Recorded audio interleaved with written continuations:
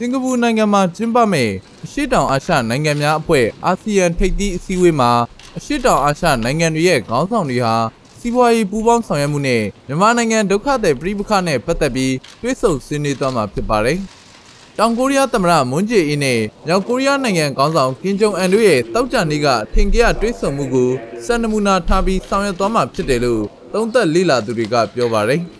။အဖွဲ့ဝင်10နိုင်ငံပါဝင်တဲ့အာဆီယံအဖွဲ့ဟာ ကိုရီးယားကျွန်းဆွယ်ငြိမ်းချမ်းရေးနဲ့တွဲဆုံဆွေးနွေးမှုတွေဖော်ဆောင်နိုင်ရန်အတွက်စီယုံလုံးဆောင်မှုတွေလှုပ်ဆောင်ခဲ့ကြပါတယ်။အဆိုပါထိပ်သီးအစည်းအဝေးမှာစင်ကာပူနိုင်ငံသားရေးဝန်ကြီး Vivian Balakrishnan ကစီလုံးညီညွတ်ရေးကိုတောင်းဆိုလိုက်ပါတယ်။ Many things are happening both within and beyond ASEAN and I think it's all the more important အာဆီယံဘွဲ့ရဲ့အတွင်းနဲ့ပြင်တစ်ဖက်စလုံးမှာပြောင်းလဲမှုတွေဖြစ်ပေါ်နေပါတယ်ကျွန်တော်တို့စီလုံးညီညွတ်ဖို့က အရာအလုံးထက်ပိုပြီးအရေးကြီးပါတယ်ကျွန်တော်ရဲ့ဘုံရည်မှန်းချက်တွေကိုပေါ်ပြပြီးကျွန်တော်ရဲ့ရည်မှန်းချက်တွေရှိအောင်တောင်မက